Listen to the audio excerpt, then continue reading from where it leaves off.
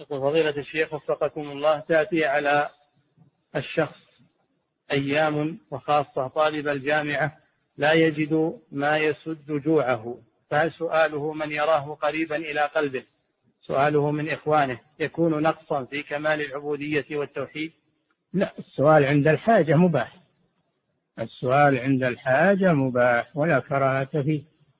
إنما الكلام على السؤال من غير حاجة. نعم.